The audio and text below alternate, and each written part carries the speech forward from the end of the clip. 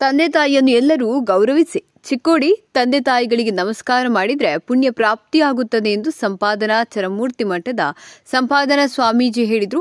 ಪಟ್ಟಣದ ಶ್ರೀ ಸಾಯಿ ಮಂದಿರದ ಹದಿನಾರನೆಯ ವಾರ್ಷಿಕೋತ್ಸವದ ಅಂಗವಾಗಿ ಶನಿವಾರ ಹಮ್ಮಿಕೊಂಡಿದ್ದ ತಂದೆ ತಾಯಿ ಪಾದಪೂಜೆ ಸಮಾರಂಭದಲ್ಲಿ ಮಾತನಾಡಿ, ಸಾಯಿ ಸೇವಾ ಪರಿವಾರವು ತಂದೆ ತಾಯಿ ಪಾದಪೂಜೆ ಮಾಡುವ ಮೂಲಕ ಭಾರತೀಯ ಸಂಸ್ಕೃತಿ ಉಳಿಸಿ ಬೆಳೆಸುತ್ತಿದೆ ಎಂದು ಹೇಳಿದರು. ತಂದೆ ತಾಯಿ ಸೇವೆ ಮಾಡಲು ಸಮಯ ಸಿಕ್ಕವನೇ ಶ್ರೀಮಂತ, ಹಿರಿಯರ ಬಗ್ಗೆ ಗೌರವ ಬೆಳೆಸುವ ನಿಟ್ಟಿನಲ್ಲಿ ಹದಿನಾರು ವರ್ಷಗಳಿಂದ ಸಾಯಿ ಸೇವಾ ಪರಿವಾರ ಕೆಲಸ ಮಾಡುತ್ತಿರುವುದು ಶ್ಲಾಘನೀಯ ಎಂದರು.